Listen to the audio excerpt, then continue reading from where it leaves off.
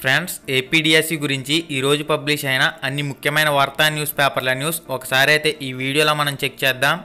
చాలా అంటే చాలా యూస్ఫుల్ ఇన్ఫర్మేషన్ అయితే పబ్లిష్ చేయడం జరిగింది. మనం మెయిన్గా చూసినట్లయితే ఏపీడిఎస్సి నిరుద్యోగ అభ్యర్థుల నుంచి కొన్ని కోట్ల రూపాయలను వసూలు చేసుకున్న ప్రభుత్వానికి ఆదాయం ఇంకా సరిపోయినట్లుగా లేదు. త్వరలో వెయ్యి పోస్టులతో డిఎస్సి అని చెప్పేసి మనకి ఆంధ్రజ్యోతి న్యూస్ పేపర్లో ఒక న్యూస్ ఆర్టికల్ అయితే పబ్లిష్ అవ్వడం జరిగింది. దాని గురించి కూడా క్లియరింగ్ కట్గా ఫుల్ ఇన్ఫర్మేషన్ అయితే ఈ వీడియోలో మనం తెలుసుకుందాం.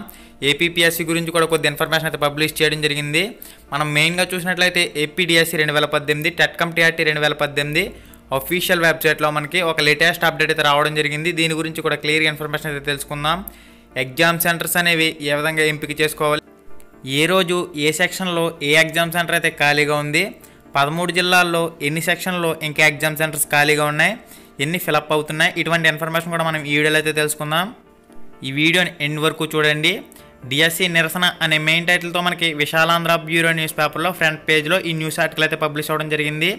చంద్రబాబు గంటాకు చేదు అనుభవం అనే మెయిన్ టైటిల్తో కూడా మనకి న్యూస్ అయితే పబ్లిష్ అవ్వడం జరిగింది. ఈ వీడియో చూస్తున్న ప్రతి ఒక్కరూ తప్పకుండా ఒక లైక్ అయితే చేయండి. మీ ఫ్రెండ్స్కి కూడా ఇన్ఫర్మేషన్ అయితే షేర్ చేయండి. ఎక్కడికక్కడే బహిరంగ సభల అడ్డగింత అనే మెయిన్ టైటిల్తో కూడా న్యూస్ అయితే ఉంది. సీఎం దివిసీమ పర్యటనలో ఉద్రిక్తత అనే మెయిన్ టైటిల్తో కూడా న్యూస్ అయితే ఉంది. మంత్రి గంటాను అడ్డుకున్న అభ్యర్థులు అనే మెయిన్ టైటిల్తో కూడా న్యూస్ అయితే పబ్లిష్ చేయడం జరిగింది. జాంబోడిఎస్సి ఇవ్వాలని ఆఫ్లైన్ పరీక్ష నిర్వహించాలని డిమాండ్లు. ఒకవేళ ఆన్లైన్లో పరీక్ష నిర్వహించవలసి వస్తే ఒక జిల్లాలో ఉన్న అభ్యర్థులందరికీ ఒకే ప్రశ్న పత్రం ద్వారా ఒకే రోజు పరీక్షను అయితే నిర్వహించవలసిన అవసరం అయితే ఎంతైనా ఉంది. లేకుంటే ఒకరికి ప్రశ్నాపత్రం కఠినంగాను ఒకరికి ప్రశ్నాపత్రం సులభంగాను వచ్చి టెట్ వన్ టెట్ టూ మాదిరిగానే డిఎస్సిలో తీవ్ర అన్యాయం జరుగుతుందని డిఎస్సి అభ్యర్థులు అయితే తీవ్ర ఆవేదన వ్యక్తం చేయడం జరుగుతుంది. డిఎస్సి అభ్యర్థుల నిరసన శాఖతో ప్రభుత్వం ఉక్కిరి బిక్కిరవుతుంది డిఎస్సి ఇవ్వాలని రాత పరీక్షల తేదీని పొడిగించాలన్న ప్రధాన డిమాండ్లతో రాష్ట్ర వ్యాప్తంగా అభ్యర్థులు ఆందోళన బాటపట్టారు. ఎక్కడికక్కడే ప్రజాప్రతినిధులను పర్యాటకులను అడ్డగించి ఆగ్రహం వ్యక్తం చేస్తున్నారు. సీఎం చంద్రబాబు మానవ వనరుల అభివృద్ధి శాఖ మంత్రి గంటా శ్రీనివాస్ పర్యటనలోనూ అభ్యర్థుల నుంచి నిరసనలు ఎదురవుతున్నాయి. దివిసీమలోని అవనిగడ్డ నియోజకవర్గంలో సీఎం చంద్రబాబు బుధవారం నాటి పర్యటనలో ఉద్రిక్తత చోటు చేసుకుంది. సీఎం బహిరంగ సభలో డిఎస్సి అభ్యర్థులు అడుగడుగునా ఫ్లాష్ కార్డులతో నినాదాలు చేశారు. ఎన్నికల్లో ఇచ్చిన హామీలకు అనుగుణంగా జాంబోడియాసి ఇవ్వాలని నిరసన వ్యక్తం చేశారు. తొలుత సీఎం దివిసీమ పర్యటన సమాచారం తెలుసుకున్న వందలాది మంది డిఎస్సి అభ్యర్థులు సమావేశమై ఆయనకు వినతి పత్రం ఇవ్వాలని నిర్ణయించుకున్నారు. అయితే పోలీసులు డిఎస్సి అభ్యర్థులపై లాఠీచార్జీకి పాల్పడ్డారు. అత్యుత్సాహంతో అభ్యర్థులను అదుపులోకి తీసుకోవడంపై సర్వత్రా నిరసనలు వ్యక్తమవుతున్నాయి. విజయనగరం విశాఖపట్నం జిల్లాల్లో మంత్రి గంటా పర్యటనను డిఎస్సి అభ్యర్థులు అడ్డుకున్నారు. పోస్టుల సంఖ్యను పెంచుకుంటే పెద్ద ఎత్తున ఉద్యమిస్తామని పరీక్షల గడువు తేదీని పొడిగించాలని లేకుంటే రాబోయే ఎన్నికల్లో డిఎస్సి అభ్యర్థుల చట్టా చాటుతామని హెచ్చరిస్తున్నారు. ప్రభుత్వం ప్రధాన కార్యదర్శి విద్యాశాఖ ఉన్నతాధికారులకు టోల్ ఫ్రీ నెంబర్ ద్వారా ప్రతిరోజు వందలాది మంది అభ్యర్థులు ఫిర్యాదు చేస్తున్నారు. పోస్టులు లేని డిఎస్సి మాకొద్దని ఆగ్రహం వ్యక్తం చేస్తున్నారు. దీనికి సంబంధించి ఇన్ఫర్మేషన్ అయితే మనకు పబ్లిష్ చేయడం జరిగింది. డిఎస్సి ప్రక్రియ వేగవంతంలో సర్కారు అనే మెయిన్ టైటిల్తో కూడా మనకు న్యూస్ అయితే ఉంది. డిఎస్సి పరీక్షల ప్రక్రియను వేగవంతం చేసేందుకు గాను ప్రభుత్వం చర్యలు చేపట్టింది. అభ్యర్థులు నిరసనలు విజ్ఞప్తులను పరిగణలోకి తీసుకోకుండా మొక్కుబడిగా ప్రకటించిన పోస్టులకు రాత పరీక్ష నిర్వహించేందుకు ప్రభుత్వం అయితే నిమగ్నమైంది. ఈ నెల ఇరవై రెండవ తేదీ నుంచి అఫీషియల్ వెబ్సైట్లో ఏపీడిఎస్సి అభ్యర్థులు పరీక్ష కేంద్రాల ఎంపికకు వెబ్ ఆప్షన్లకు అవకాశం అయితే కల్పించడం జరిగింది. అభ్యర్థులు సబ్జెక్టుల వారీగా పరీక్ష కేంద్రాల ఎంపిక ప్రక్రియ అయితే ప్రారంభం అవడం జరిగింది. డిసెంబర్ ఒకటి నుంచి హాల్ టికెట్ల డౌన్లోడ్కు అవకాశం అయితే ఉందని చెప్పేసి కూడా ఒక పాయింట్ అయితే మెన్షన్ చేయడం జరిగింది. అయితే ఏపీ డిఎస్సి అభ్యర్థులంతా మెగా డిఎస్సి వస్తుందని ఆశతో ఉన్నారు. ప్రభుత్వం నిరుద్యోగుల ఆవేదనను ఆలకించకుండా మొండి వైఖరితో ఉండడంపై విమర్శలు వస్తున్నాయి. దీనికి సంబంధించి ఇన్ఫర్మేషన్ కూడా పబ్లిష్ చేయడం జరిగింది. ఓట్లతో బుద్ధి చెబుతామంటున్న అభ్యర్థులు దీనికి సంబంధించి మనకి చాలా అంటే చాలా యూస్ఫుల్ ఇన్ఫర్మేషన్ పబ్లిష్ చేయడం జరిగింది. ప్రభుత్వం మెగా డిఎస్సి ప్రకటించుకుంటే రాబోయే ఎన్నికల్లో డిఎస్సి కుటుంబ సభ్యులంతా వ్యతిరేకంగా ఓట్లు వేస్తామని అభ్యర్థులు హెచ్చరిస్తున్నారు. డిఎస్సి రెండు వేల పద్దెనిమిదికి ఆరు లక్షలకు పైగా దరఖాస్తులు అందాయి. అభ్యర్థుల కుటుంబ సభ్యులతో కలిసి మొత్తం యాభై లక్షలకు పైగా ఓట్లు ఉన్నాయని చెబుతున్నారు. చెప్పడం కాదు ఇదే నిజం. గత ఎన్నికల్లో టీడీపీ ప్రభుత్వం కేవలం ఐదు లక్షల ఓట్ల తేడాతోనే అధికారం చేజిక్కించుకుందని గుర్తు చేశారు. ఇప్పుడు డిఎస్సి అభ్యర్థులు వారి కుటుంబ సభ్యులంతా ప్రభుత్వానికి వ్యతిరేకంగా ఓట్లు వేస్తే టీడీపీ ప్రభుత్వం గద్దె దిగడం ఖాయమని స్పష్టం చేస్తున్నారు. వెంటనే ఏపీ ప్రభుత్వం స్పందించి డిఎస్సి అభ్యర్థులకు సానుకూలంగా స్పందించలేనట్లయితే డిఎస్సి అభ్యర్థులు ఓటు అనే ఆయుధంతో మీకు బదులివ్వబోతున్నారని చెప్పేసి ఒక పాయింట్ అయితే క్లియర్గా మెన్షన్ చేయడం జరిగింది. ప్రభుత్వం తక్షణమే మెగా డిఎస్సిని ప్రకటించాలని డిఎస్సిలో ఎంపికైన అభ్యర్థులకు హామీ పత్రాలను ఇచ్చి వరుసగా వారి పోస్టులను భర్తీ చేయాలని కోరుతున్నారు. రెండు రోజుల్లో ప్రభుత్వం స్పందించుకుంటే ఉద్యమ స్వరూపాన్ని మారుస్తామని డిఎస్సి అభ్యర్థులైతే హెచ్చరించడం జరుగుతుంది. ఓకే ఫ్రెండ్స్ ఈ వీడియో చూస్తున్న ప్రతి ఒక్కరు తప్పకుండా ఒక లైక్ చేసి మీ ఫ్రెండ్స్కి ఇన్ఫర్మేషన్ అయితే షేర్ చేయండి. అప్పుడే ఎక్కువ మందికి రీచ్ అవుతుంది. మెగా డిఎస్సి కోసం ఆన్లైన్లో ఫిర్యాదులు వెల్లువ అనే మెయిన్ టైటిల్తో కూడా మనకు న్యూస్ అయితే పబ్లిష్ అవ్వడం జరిగింది. మెగాడిఎస్సి ప్రకటించాలని డిమాండ్ చేస్తూ ఆన్లైన్ ద్వారా ప్రభుత్వానికి ఫిర్యాదులు చేస్తున్నారు.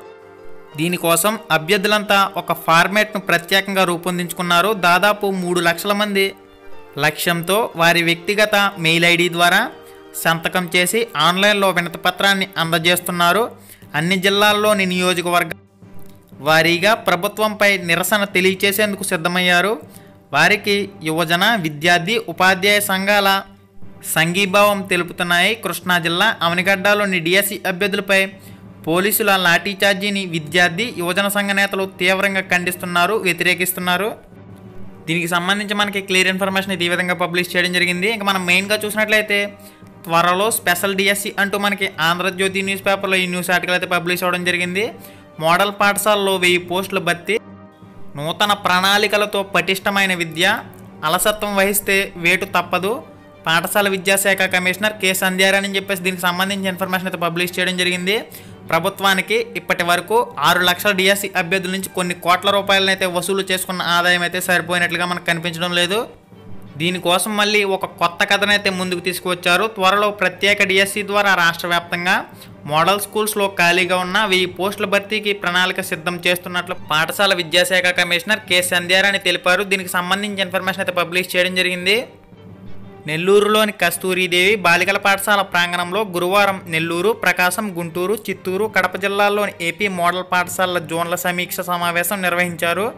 ఈ సందర్భంగా సంధ్యారాణి మాట్లాడుతూ మోడల్ పాఠశాలలన్నింటినీ ఇకపై అన్ని ప్రభుత్వ పాఠశాలల మాదిరిగానే పనిచేస్తాయని వీటిని ఆయా జిల్లాల విద్యాశాఖ అధికారులే పర్యవేక్షిస్తారని తెలిపారు. మోడల్ స్కూల్స్లోని పనిచేస్తున్న సిబ్బంది జీతభత్యాలు కూడా ప్రభుత్వం పాఠశాలల ఉపాధ్యాయులకు అందించిన రీతిలోనే ఉంటుందన్నారు. ఈ పాఠశాలలో ఉపాధ్యాయులు కొరత లేకుండా పటిష్ట చర్యలు తీసుకుంటున్నట్లు చెప్పారు. అయితే ప్రస్తుతం ఉన్న సిబ్బంది విధి నిర్వహణలో అలసత్వం వహిస్తే సహించేది లేదని హెచ్చరించారు. దీనికి సంబంధించిన ఇన్ఫర్మేషన్ అయితే మనకు పబ్లిష్ చేయడం జరిగింది. నోటిఫికేషన్ కోసం షార్ట్లు అంటూ మనకి మెయిన్ టైటిల్తో ఏపీపీఎస్సికి సంబంధించి గ్రూప్ వన్ గ్రూప్ టూకి సంబంధించి కొద్ది ఇన్ఫర్మేషన్ అయితే ఆంధ్రజ్యోతి న్యూస్ పేపర్లో పబ్లిష్ చేయడం జరిగింది. లింక్ డిస్క్రిప్షన్లో ఉంది. ఈ వీడియో టైటిల్ మీద ఒకసారి టచ్ చేయండి. కిందకి మీకు ఒక పేజ్ అయితే ఓపెన్ అవుతుంది. అక్కడ మన ఫేస్బుక్ పేజ్ లింక్ ఉంటుంది. ఆ ఫేస్బుక్ పేజ్కి డైరెక్ట్ లాగిన్ అయ్యి ఇమేజ్ని డౌన్లోడ్ చేసుకుని మీ మొబైల్లో చదువుకోవచ్చు. ఓకే ఫ్రెండ్స్ మనకి ఇది ఏపీడిఎస్సి రెండు వేల పద్దెనిమిది టెట్కమ్ టీఆర్టీ రెండు వేల పద్దెనిమిది అఫీషియల్ వెబ్సైట్ ఈ అఫీషియల్ వెబ్సైట్ లింక్ ఈ వీడియో డిస్క్రిప్షన్లో ఇచ్చాను. ఒకసారి ఈ వీడియో టైటిల్ మీద టచ్ చేయండి మీకు కిందకు ఒక పేజ్ ఓపెన్ అవుతుంది. అక్కడ అఫీషియల్ డైరెక్ట్ వెబ్సైట్ లింక్ అయితే అవైలబుల్గా ఉంటుంది. అఫీషియల్ వెబ్సైట్లో రిలీజ్ చేసిన షెడ్యూల్ ప్రకారం ప్రస్తుతం స్కూల్ అసిస్టెంట్ పీజీటీ వాళ్ళకి ఎగ్జామ్ సెంటర్స్ అయితే సెలెక్ట్ చేసుకునేందుకు అవకాశం అయితే కల్పించారు. మీరు జాగ్రత్తగా కంప్యూటర్లోనూ లేదా మొబైల్లో కూడా ఎగ్జామ్ సెంటర్స్ అయితే సెలెక్ట్ చేసుకోవచ్చు. మీరు ఈ విధంగా candidate ID date of birth Aadhaar number enter చేసిన తర్వాత ఒక ఓటీపీని ఎంటర్ చేసి మీ ప్రాసెస్ని అయితే ముందుకు తీసుకువెళ్ళవలసి ఉంటుంది. మీరు ఇక్కడ చూడొచ్చు పీడిఎఫ్లో అయితే క్లియర్గా మీకు అవైలబుల్గా ఉంచారు. ఎప్పటికప్పుడు ఇన్ఫర్మేషన్ అయితే తెలుసుకోవచ్చు. మీకు ఏ ఎగ్జామ్ సెంటర్స్ అయితే ఖాళీగా ఉన్నాయి ఏ ఎగ్జామ్ సెంటర్స్ అయితే ఇప్పటికే ఫిలప్ అయిపోయినాయి అనేది క్లియర్గా ఇన్ఫర్మేషన్ అయితే ఇక్కడ ఇవ్వడం జరుగుతుంది చూడండి. డిసెంబర్ ఆరు డిసెంబర్ పది పదకొండు పన్నెండు ఈ విధంగా మీకు డేట్లు అయితే ఇచ్చారు. ఇక్కడ ఎస్ వన్ ఎస్ టూ అని చెప్పేసి ఉంటుంది. ఎస్ వన్ అంటే మార్నింగ్ సెక్షన్ ఇది తొమ్మిది నుంచి పన్నెండు గంటల వరకు జరుగుతుంది. ఎస్ టూ ఈవినింగ్ సెక్షన్ ఇది రెండు గంటల నుంచి మనకి ఐదు గంటల వరకు జరుగుతుంది. ఓకే ఫ్రెండ్స్ మీరు ఇక్కడ చూడొచ్చు.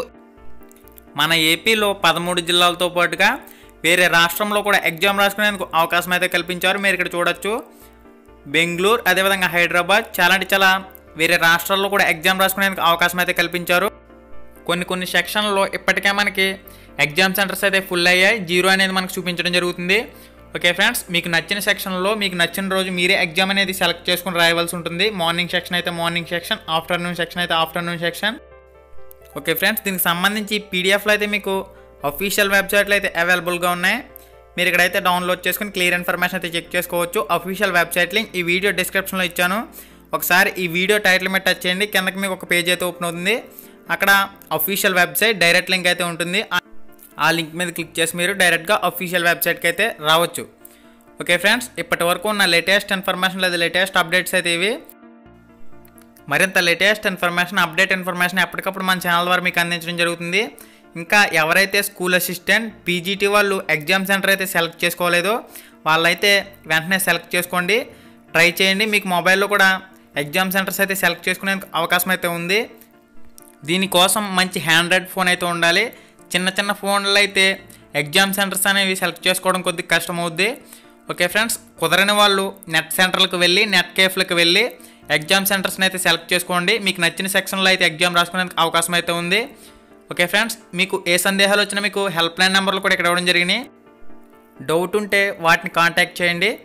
Okay friends thanks for watching have nice day and Jai Hind hi friends మన ఛానల్లో పెట్టే వీడియోస్ని నోటిఫికేషన్ ద్వారా మీ మొబైల్కి పొందాలనుకుంటే రెడ్ కలర్ సబ్స్క్రైబ్ బటన్ మీద క్లిక్ చేసి మన ఛానల్ని సబ్స్క్రైబ్ చేయండి. అలానే పక్కనే ఒక బెల్ ఐకాన్ వస్తుంది. దాన్ని క్లిక్ చేయడం మాత్రం మర్చిపోవద్దు. నేను మీ Ganesh. Welcome to Ram Ramesh productions